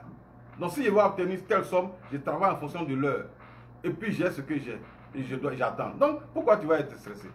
Si on me demande l'argent au pays, je dis bon, donnez-moi une semaine, puis je travaille, j'envoie. Donc, il se passe Mais quand tu ne travailles pas, que tes parents te demandent l'argent, on dit que quelqu'un est malade, et toi, tu dois appeler un ministre ou bien un DG pour avoir l'argent, tu l'appelles, passe pas, ton cœur est coupé, comme on le dit communément. Et donc, tu es stressé, ça va te donner des choses, tu vois, des euh, un problème de santé mentale et physique. Et je crois qu'aujourd'hui, tu n'es pas normal. Parce que si tu étais normal, tu n'allais pas avoir ce genre de propos. Et venir t'excuser après. Un homme normal ne fait pas ça. Non. Parce que bien que tu t'es excusé, mais les propos restent. Les propos restent. Et tu es identifié dans la société étant comme ceci. Voilà pourquoi l'acte que tu as posé en 2010 te suit jusqu'à aujourd'hui. Et ça restera dans l'histoire que tu as traité à un moment crucial un candidat qui comptait sur toi, qui t'avait donné sa confiance, qui t'avait placé auprès de lui. Mais tu l'as déçu à un moment donné, tu l'as trahi. Et ça, ça va te suivre toute ta vie et ça va se répercuter sur tes enfants. Ils seront vus comme des enfants d'intérêt. Et lorsqu'ils vont poser un acte qui est un peu suspicieux, on va dire, oh, lui là, vous ne connaissez pas son papa. Son papa, c'est lui qui a traité M. Ouattara ici publiquement. Voilà comment on, devient dans la société quand on ne fait pas attention. Et donc, c'est un conseil de frère. Comme tu dis, je suis ton grand frère, je l'accepte, c'est un honneur. Je dis que je suis plus âgé de toi que, toi. Bon, bien que tu ne connais pas mon âge, mais tu dis, je suis plus âgé que toi, c'est pas grave. Moi, j'accepte. Parce que pour toi, tu es encore gamin, adolescent, et donc, je comprends ton comportement, mais j'ai dit, en tant que grand frère, je te donne des conseils, il faut arrêter. Il faut arrêter, ça ne ça, doit pas te ressembler à toi. Surtout pour avoir été porte-parole adjoint du président, chargé de la jeunesse. Et comme M. Ouattara fait confiance à quelqu'un, c'est une lourde responsabilité qu'il lui confie. Et on t'a donné cette responsabilité, cette grande confiance de M. Ouattara. Ce que beaucoup n'ont pas eu autour de M. Ouattara. Les Karamoko Yayo qui sont battus, qui sont battus mais il n'était pas porte-parole du président. Pourtant, il était le président des jeunes du RDR.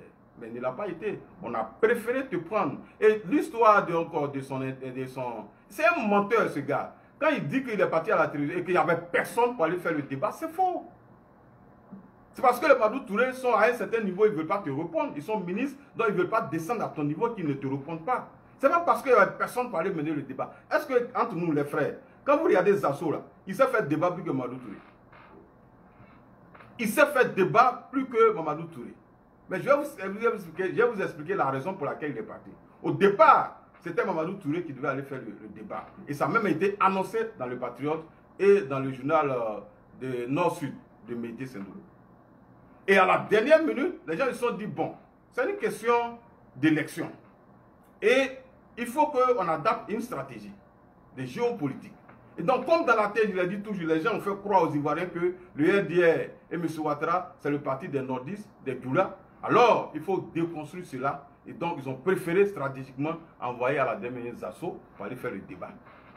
Pour que, voilà un BT, donc, qui supporte M. Ouattara, qui est contre euh, M. Babo. Donc, ça montrait très clairement la géopolitique du RDR et du candidat Ouattara. Voilà où, est partie donc euh, euh, l'histoire du débat de M. Monsieur, Zasso avec Blé Nabidé et Kakabi. Voilà comment l'histoire est partie. Et donc il ment, vous dit non, tout le monde avait fui. Quand vous regardez Marou Touré, il peut fuir le débat. C'est-à-dire qu'on ne connaît pas l'homme, on peut mentir. Et des gens qui ne le connaissent pas, ils vont accepter ça. Demandez à plusieurs personnes qui connaissent Marou Touré. Il dit que moi j'utilise le nom de Marou Touré. Il faut que moi je vais le voir. Il faut demander, comme tu dis tu le vois, il faut lui demander. Si moi, depuis les ministres, on s'est rencontrés une fois. On s'est rencontrés une fois au siège. C'est tout. Depuis lors, on ne s'est même plus rencontrés. Donc, pas penser qu'on est la même chose? Non. Non. Cher ami, il faut te détromper. Donc, pour ceux qui connaissent Mamadou Touré, il partait affronter les Sorbonnards, entourés de près de 1000 personnes. Il mène débat, il les met tous au chaos et tapis.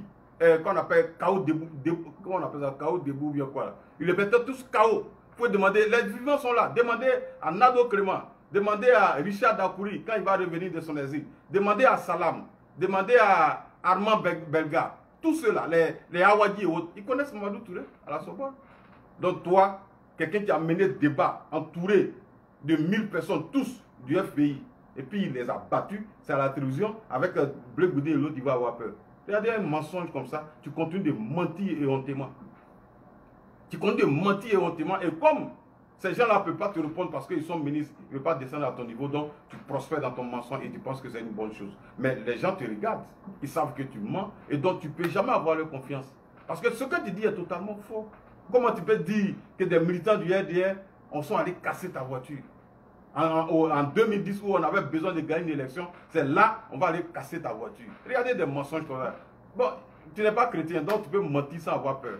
Tu n'as pas la crainte de Dieu, donc tu peux mentir sur les gens. Sans avoir honte. En disant ce que tu ne sais pas. Sur les autres, tu imagines. Et tu as un repère derrière, donc tu te donnes les réponses. Tu n'as pas honte. On sent que tu es déstabilisé dans ton direct. Parce que tu n'as pas euh, les réponses qu'il faut. Tu es gêné. Parce que tu mens. Quand on n'est pas vrai dans la vie, c'est comme ça. Chez nous, on dit, quand tu as dit la vérité le matin, quand le soir arrive là, ton cœur. Bah, tu as déjà dit la vérité le matin. Mais quand tu as menti le matin, quand le soir arrive, quand que tout le monde va venir à la maison, là, tu as peur. Bah, c'est pas ce qu'on va découvrir. C'est ton cas. Donc je tenais à te faire ce recadrage très rapidement pour te dire, parce que beaucoup ont fait croire que beaucoup avaient peur, ils manipulent l'ADI, il se met derrière lui pour parler, il est lâche, pourquoi il n'utilise pas sa page? Donc euh, pour, pour, débattre ou bien pour se prononcer, j'ai décidé désormais, j'ai même créé une page spéciale qu'on appelle lutte contre euh, l'intox sur le net. Si vous tapez euh, lutte contre l'intox sur le net, vous allez voir, ça va apparaître avec le logo de la présidence, du symbole de la présidence. Abonnez-vous là-bas. Désormais, toutes les questions qui vont vous passer par la tête, des grandes questions essentielles, hein. ce n'est pas les histoires des, des, des de l'offre du autre là. Non, je ne parle pas de ça. Des grandes questions politiques de notre nation, telles qu'en économie, en droit, en stratégie politique, en politique internationale, interpellez-moi, je vais faire une communication. Parce que il est temps qu'on se lève, parce que 2025 n'est pas loin. Il faut qu'on se lève. Ceux qui ont peu de connaissances se lèvent rééduquer ces gens-là parce que leur communication, les gens comme les assos, ils ont un seul angle qu'ils utilisent. Parce qu'il ne peut pas, il peut pas prendre les assauts, il ne peut pas parler de droit, il ne peut pas parler d'économie, il ne peut pas parler de politique internationale. Il est toujours dans un seul canevas. Soro, coup d'État, Babo, euh, rébellion, les rébellions ont tué mes parents. Pourtant, il oublie de dire, il refuse de dire qu'avant la rébellion, ses parents aussi ont tué les parents des autres. Et c'est ça qui est la vérité. Mais toujours, il va venir dire, la rébellion a tué mes parents. La rébellion a tué mes parents. Mais pourquoi tu ne dis pas ce que tes parents aussi ont fait? Pourquoi tu ne le dis pas? Mon cher ami, c'est ça aussi la vérité. C'est ça aussi la vérité. Ne pas avoir peur de dire la vérité. On doit être précis. Quand des gens encouragent le viol, justifient le viol en 2000, sur un plateau télé pour dire, ces filles-là ont cherché, comme si elles ne connaissaient pas garçon, donc c'était une occasion pour elles d'aller se livrer pour découvrir ce qui est, ce que c'est que garçon. Et toi, tu oses venir dire, la rébellion a tué mes parents. Qu'est-ce qui a conduit à la rébellion? Il faut expliquer aux Ivoiriens. Moi, je souhaite que tu expliques. Ce qui a conduit à la rébellion, là, il faut nous expliquer. Qu'on prend des gens chez vous à Gagnois, des nordistes comme Seriba, qui est dentiste, qui est aujourd'hui député donc, du, RADP. Et sur la base donc de ce que le secrétaire départemental du RDR de Gagnois, on le prend, on le frappe jusqu'à mort. Et qu'il est sauvé par, par l'ONUCI. Et sur ça, beaucoup de, de, nos militants sont morts à Gagnois. Je me rappelle de tous ces événements. Demandez à Dambélé Moussa, il va vous dire. Au maire, dans l'ancien maire du RDR, eh, Bamba Medi, demandez-lui, il va vous dire. Combien de fois on a transporté les malades, les blessés à l'hôpital, enterré nos morts, cher ami? Toi, tu dis que tu as soulevé le corps d'un de militants de 2007 à 2000, jusqu'à ce que tu nous quittes là. Quel militant d'IRD a été tué? De 2007 là. Un menteur comme ça. Tu as soulevé le corps des militants d'IRD C'est vous qui tuez les gens. En 2004, lorsque les avions de M. Gbagbo ont été cassés, les hélicoptères de guerre ont été cassés par, par, les Français, qu'est-ce que vos parents n'ont pas fait à Gagnois? Le commerce des gens, les commerces des gens ont été pillés moi, j'ai un ami qui s'appelle Dao, parce que c'était en novembre. On devait aller, on devait, donc, euh, pour les fêtes de fin d'année, le gars a fait le remplissage de son magasin. Ces jeunes gens-là, montés par les assauts et autres, ils sont allés piller les magasins des gens. Ce monsieur, près de 12 millions, le pauvre jeune qu'il a mis dans son magasin, tout est parti comme ça. Et ils appelaient ça, euh, comment on appelle, VS, vol sécurisé. La fée n'a pas fait? Et aujourd'hui, vous avez le courage de venir donner des leçons aux gens? De nous rappeler que vos parents été tués. Mais les parents des autres aussi ont été tués. Voilà. Donc si vous voulez qu'on soit révisionniste, on va être révisionniste. Il est clair. On va être révisionniste. On va être révisionniste. Des menteurs comme ça qui disent que les, statuts et règlements intérieurs du ont été écrits par Gbagbo et Bogadou. Il y a des menteurs comme ça. Hein? Prouvez-nous qu'ils étaient là quand on écrivait notre. parce qu'ils sont plus intelligents que l'Amadou Gon, l'Amadou Soumaoro, donc qui ont écrit les statuts et règlements intérieurs d'hier. Donc c'est Babo qui a écrit ça pour nous. Vous êtes des plaisantins, quoi. Des plaisantins, des menteurs, des fiers menteurs. Vous êtes des menteurs, je vais vous le dire. Vous comprenez? Vous n'avez pas participé à l'écriture des statuts et règlements intérieurs de notre parti, le RDR. Jamais. Parce que c'est une manière de vous accaparer le travail des autres pour dire, Gbagbo est bêté comme moi, Ida, euh, Bogadoudou est Dida, donc ils ont écrit les statuts règlements du RDR. Donc je suis propriétaire du RDR parce que vous voyez tout en ethnie, vous voyez tout en bêté. N'importe quoi. Donc chers amis, je tenais à faire cette clarification, dire à, à Zasso en global que la récréation est terminée. Voilà de manière très posée, on va vous apporter les réponses, les réponses idoines. Voilà. Tant que vous allez vous inscrire donc dans cette voie de piétinement de nos valeurs, de nos principes, sachez qu'il y aura des Ivoiriens aussi qui vont se lever pour vous dire la vérité. Et j'en fais partie et j'en ferai partie. J'en ferai partie. Je demande aucun sou. Je n'en ai pas besoin. Mais je vais ouvrir ma caméra comme vous avez l'habitude de le faire. Et vous pensez que parce qu'on ouvre une caméra, on doit vous payer, on doit vous donner l'argent. On va vous montrer que on peut ouvrir caméra, faire des vidéos sans demander quelque chose. On va montrer cet exemple. Et il est temps qu'on montre cet, exemple. Que d'autres Ivoiriens peuvent ouvrir leur caméra, porter, donc, euh, euh, comme on appelle, euh, une idéologie, faire la promotion d'un parti politique sans demander quelque chose en retour. Parce qu'il faut que ces valeurs-là reviennent. C'est pas parce, que vous pouvez, surtout en Occident, on ne paye pas, en tout cas chez nous, on ne paye pas Internet. Voilà. Donc c'est pour vous dire que pour ouvrir sa caméra pour faire vidéo, on n'a pas besoin d'être payé pour ça. Donc ceux qui sont venus dans ce combat pour faire des vidéos, pour penser qu'on va les payer, il est temps de ranger votre caméra. Il est temps, parce qu'on ne va pas permettre cela. Non. On ne va pas permettre cela. Si on commence à donner de l'argent et que la nouvelle est su, on va exiger que nos parents, euh, nos militants dans les villages soient aussi rémunérés. Ouais, c'est important. Parce qu'on ne peut pas accepter l'injustice. Non. Non. Vous ne menez pas plus de combats que ces gens qui sont dans les villages, à moto, partout, ils vont, ils surveillent, donc nos, nos, qui sécurisent nos résultats lors des élections. Souvent dans des conditions difficiles, où ils peuvent risquer leur vie. Dans le, convoyage des choses, ils peuvent faire des accidents. Mais vous pensez que ceux-là, ils doivent faire un travail bénévole, mais vous qui êtes assis dans une climatisation, dans une chambre climatisée, bien un salon climatisé, avec une un téléphone devant, vous finissez de vociférer, crier, crier, vous dites donnez-nous l'argent. Au nom de quoi? Donc on va vous montrer qu'on peut ouvrir caméra, faire vidéo, parler de son pays, faire la promotion de son pays, de son parti, sans qu'on exige quelque chose en retour. Il faut que ces valeurs-là reviennent. Et je vais le faire. C'est une promesse. Et je vais le faire. Donc, chers amis, c'était ma petite intervention. Ça a été long, mais il fallait que ça soit long pour que certaines personnes ne s'inscrivent pas dans la voie des assauts en global, qui voient la Côte d'Ivoire en, plusieurs catégories. Ivoiriens, donc euh, de souche, fils d'immigrés, guinéens, maliens, burkinabés. Il ne faudrait pas que des gens, des jeunes gens, puissent suivre l'exemple de Sasso. Voilà pourquoi on interpelle, on essaie de conscientiser, on essaie de sensibiliser, parce qu'il est important nous avons des enfants aujourd'hui. D'autres se sont mariés à des nordistes. Certains sont mariés à des amis. Donc ça veut dire c'est un brassage, que ce soit patronyme, que ce soit culturel, que ce soit religieux. On est, on, est, on, est, c'est une diversité. Donc demain, ce que vous cautionnez aujourd'hui, mais demain peut arriver à votre enfant. Demain, ça peut arriver à votre enfant. Et c'est de, génération en génération parce que les enfants de Lagui vont s'appeler Lagui ainsi de suite. Donc si Lagui est considéré comme guinéen, toute sa suite sera considérée comme guinéen parce qu'ils vont porter le nom de leur père. Et donc si demain vous avez des soeurs de Galébré, de, comme euh, Zasso, quand demain ils vont faire des, elles vont faire des enfants avec des, des Lagui shérifs, mais ces enfants vont porter les noms, donc euh, des noms guinéens selon lui. Donc ces gens-là seront considérés comme des Guinéens. Est-ce que c'est cette société-là que vous voulez? Si c'est ça, mettez oui. Si ce n'est pas ça, mettez non. Mais disons non à ce genre de comportement. Et combattons cela. Ce n'est pas ce modèle de société que nous voulons construire.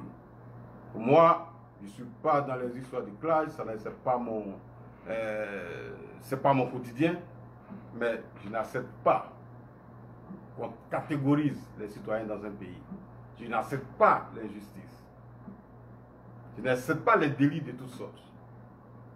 Et donc, chaque fois que des gens vont s'inscrire dans ça, en tout cas, retenez un nom. Kokora Nzin va sortir pour dénoncer. Et je ne pense pas que quelqu'un puisse me l'empêcher. Personne ne peut m'empêcher de faire ça. Parce que personne ne paye mon internet, personne ne paye ma maison, aucun cadre ne me donne un sou. Depuis que je suis ici il n'y a aucun cadre qui peut me dire qu'Okora a été donné un dollar. Non. Jamais je mets quiconque au défi. Comme Zasso l'a dit, il dit, depuis que je suis venu, Enza Kamara me nourrit. Enza Kamara est vivant. Il vit à New York. Demandez-lui s'il va une fois donner de l'argent pour vivre. Ou bien je l'appelle une fois pour dire, grand frère, j'ai besoin d'argent. Jamais. Je ne l'ai jamais fait, je ne le ferai jamais. En tout cas, pour l'heure, je ne compte pas le faire. Parce que c'est pas... Je suis, j'ai ma fierté, j'ai ma dignité. Je ne dis pas que tous les amis sont comme moi mais ma culture me l'empêche. M'empêche donc de tendre la main. Parce que quand tu tends la main, tu es humilié. Je n'ai plus 30 ans, j'ai plus de 40 ans. Donc si je dois tendre la main, mais et mon fils, lui, fait quoi? Si le père tend la main, que fera le fils? Que, que feront les enfants? Donc un homme ne doit pas jamais tendre la main, surtout quand il y a une famille, pour ta dignité. Et c'est ça qu'il faut dire à Zasso, il faut arrêter de pleurer. Un garçon ne pleure pas. Un garçon, il se bat dans la vie. il sort la tête haute. Et là, on le respecte. Tu peux regarder droit dans les yeux de quelqu'un pour lui parler parce que tu ne lui dois rien. Mais quand le gars t'a nourri, Mais demain, quand il parle, parce que tu as peur qu'il casse les papos, comme le disent euh, les gens sur, euh, sur la toile. Il va te casser les papos dont tu as peur.